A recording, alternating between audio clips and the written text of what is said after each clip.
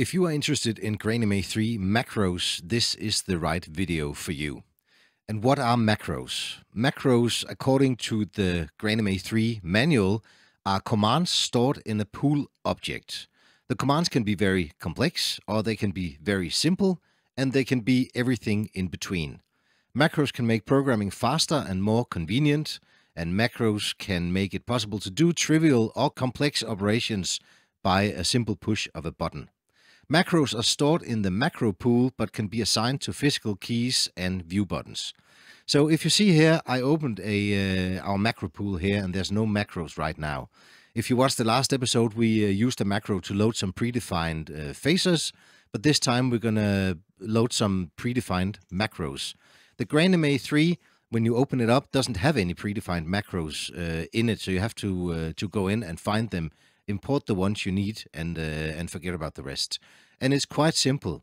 If you go over here and hover and uh, push it down and use our swipe and say edit, we open up this window here. And as you can see, I opened it up on our screen number two. We can just enlarge it a little bit here.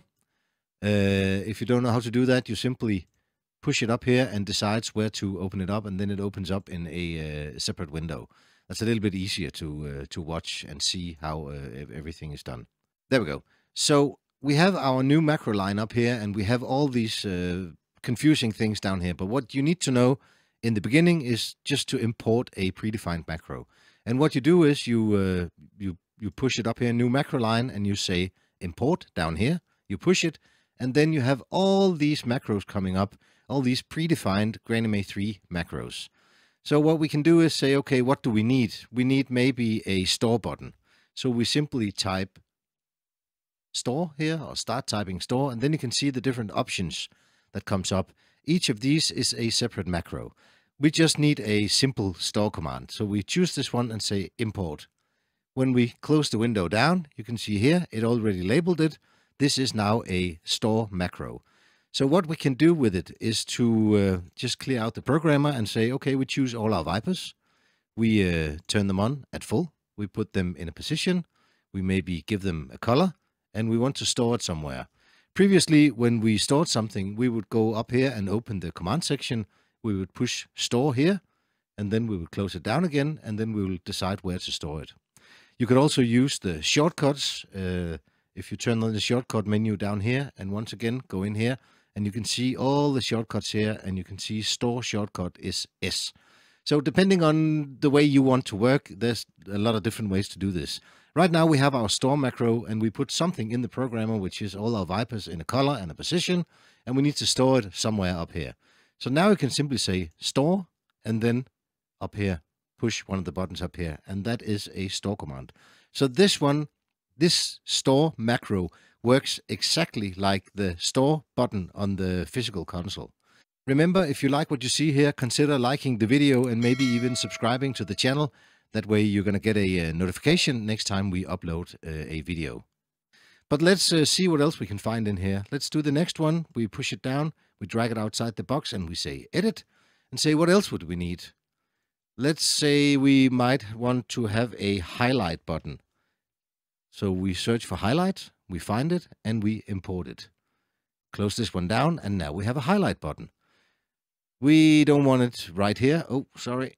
We don't want it right here. We want to move it somewhere else. So we say move, maybe over here. Uh, and we take the store button as well and we move that down here. So here we could have a next button, for instance. So we push it down, drag it out and say edit. We import, we search for uh, we search for next like this, and we just need a simple next button right here. We close it down and we say if we have a next button, we need a previous button as well. Do the same thing, edit, import. We search for previous. If we could spell, there we go, previous. We import that one and we close it down. So now we have a next and a previous button. We have a store and a highlight. So what is highlight? We can just push it right now and you can see everything goes white up here because highlight takes all the moving lights and take all the colors, gobos, everything out of it so you can identify the right uh, fixture if you want to work with it. And then you can simply say next, next, next, next, or previous, previous, previous.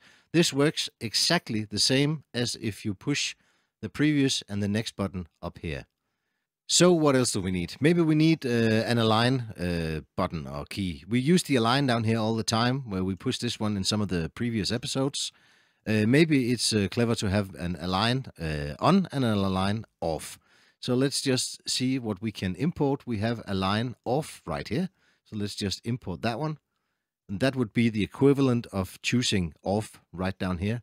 And then let's see if we can find the other align tool which one is that? That is the align rotate. I am pretty sure it is. There it is, yes. So now we can say, instead of choosing it down here, we can simply push it up here.